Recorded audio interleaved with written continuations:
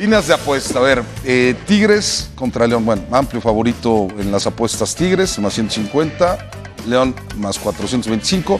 Y el empate más 260. O sea, Tigres favorito, después el empate. Y después León que ganaba 1 por 0. Y al final Tigres consiguió el empate. Vamos a escuchar a Jesús Martínez Murguía, presidente de León. A lo mejor no fue un buen partido para los árbitros, sobre todo para el Bandera, que tengo, tengo entendido pita eh, el mismo el día de mañana. Entonces esperemos que ahora sí tenga un buen partido. Eh, se me hace un poco extraño que, que lo repitan, sobre todo cuando, cuando hubo el tema este que tú mencionas, pero esperando que tenga un buen partido el día de mañana y, que el arbitraje no influya cuando hay dos equipos que juegan bien al fútbol, como lo es León y Tigres. Bueno, palabras de eh, Jesús Martínez respecto al asistente. Parece que no está muy conforme con el hombre que designaron. Bueno, cada quien juega su partido, le mete presión a los árbitros y pierden siempre la culpa de los árbitros. No los vamos a tampoco a decir de que no tienen sus errores, uh -huh. pero, pero señores, primero hay que ser autocrítico. ¿Qué hice como equipo? ¿Qué dejé de hacer? Y la verdad es que a León en ese partido le faltó volumen de fútbol. Prácticamente uh -huh. con poco, con una llegada, le estaban ganando a Tigres. Mario, ¿qué tiene que hacer León para presentarse en Monterrey y sacar el resultado. Tiene que hacer un gol, no le queda de otra, porque el empate a cero le da la clasificación a Tigres. Igual que el América. Obligado a hacer un te gol. iba, ¿qué tiene que y hacer? te iba a mencionar algo. Este, estoy de acuerdo yo con Dionisio, pero mencionate algo. Eh, este León tiene punch, es decir, Eh, tiene Tiene a Boselli, por ejemplo. buenos marcadores, tiene un medio campo sólido, tiene extremos buenos. Andrade anda muy bien, Elías anda bien, Boselli anda bien. Y lo más importante es que la única manera que le puedes ganar a los Tigres es atacándolo. Claro. Ya recuperan Está- a Montes. Débil. Ya recuperan a Montes que no estuvo en el primer partido. Este, sí. Los centrales de Tigres, la verdad que están muy lentos. El volante defensivo es un buen jugador, no es el que Carioca. tenían antes. Creo que el brasileño no es Guido. Por el centro le pueden ganar, lo tienen que atacar, lo tienen que manetar, no cederle tanta iniciativa. Puede espantarlo, León. Y en, en cambio, Tigres, yo lo veo sobrepasado, sobregirado. ¿Qué te quiero decir? Eh, ya pican eh, cuando la jugada ya pasó, ya están rebasados. Este sistema de Tigres, aguas, o sorprende mañana o juega un gran partido o lo supera León. ¿eh? Hoy es Chelis cuando tiene que tomarse la decisión o Ferretti de pensar en Vargas, de, de pensar en Guiñac, de presentar en. Se me está yendo el. Valencia. En, en Valencia. Tener Valencia. Pero en qué, Eso- en qué porque, por ejemplo, estar- estuvo Valencia en la banca.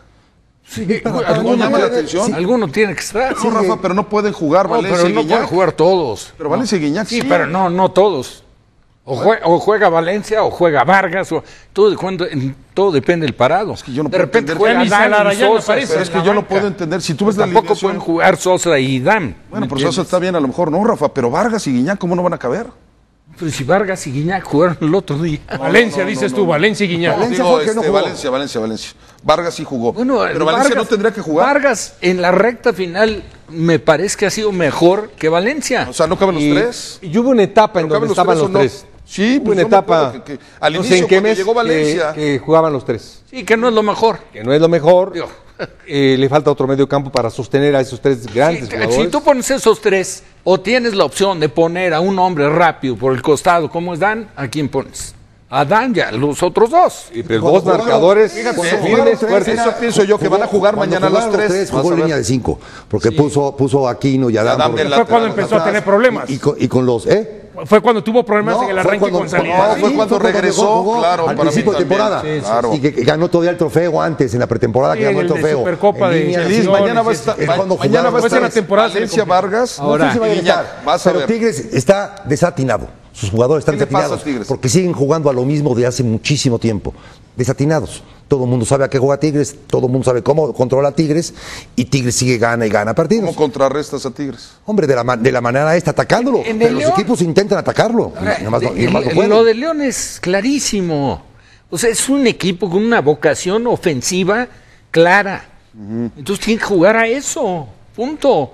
Si León mañana sale a especular, a defenderse atrás, a intentar contragolpear, le pueden hacer Ahora cuatro. estoy de acuerdo, pero se dice fácil atacar a Tigres, no debe ser Espérame, pero ¿en qué te vas a fundamentar? En lo que mejor haces. Y no sería el primer equipo que va y le muestra cara a Tigres jugando en el volcán. Cuando le has puesto cara a Tigres y el Volcán, normalmente pierde Tigres.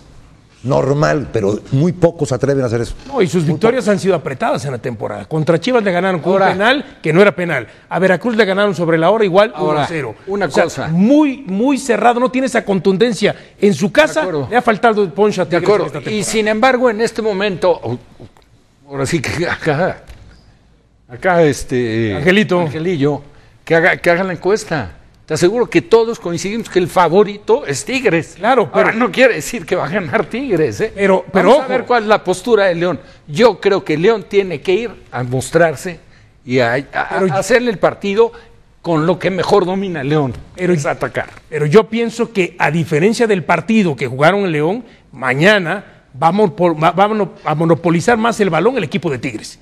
Lo va a tener. Pero a ver, no porque no lo haya Andas monopolizado. encantado con eso de no, monopolizar el no, balón. No, porque no Hay lo haya hacer monopo- goles en la No, pero permíteme, pero no porque no lo haya monopolizado con- en el partido de ida, sino que mañana va a ser más agresivo Tigres con la postura, con la posesión del balón. Ahí vamos a ver un Tigres que va a salir a buscar mañana a ofender a León. No acá que aguantó en determinado momento. Tenía la, la pelota, pero trataba de distribuirla, tratar de manejar los tiempos, porque aún en la derrota, Tigres terminó manejando los tiempos de ese partido cuando lo perdía todavía 1 a 0. O sea, los dos van a atacar entonces, Mario.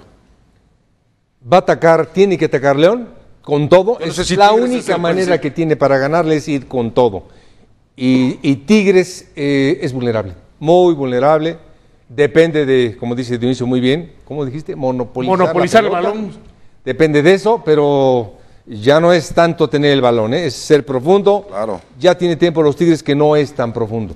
Tiene que ser un gran partido mañana. León lo puede sorprender. A mí los- el daño que pienso que le puede hacer León sobre todo es Elías Hernández por derecha, Andrade por izquierda, más que abrir la cancha en ocasiones. Si hacen diagonal hacia el centro, pueden aprovechar la lentitud, en este caso sobre todo de Juninho, y agarrar mal parado por el centro a Tigres.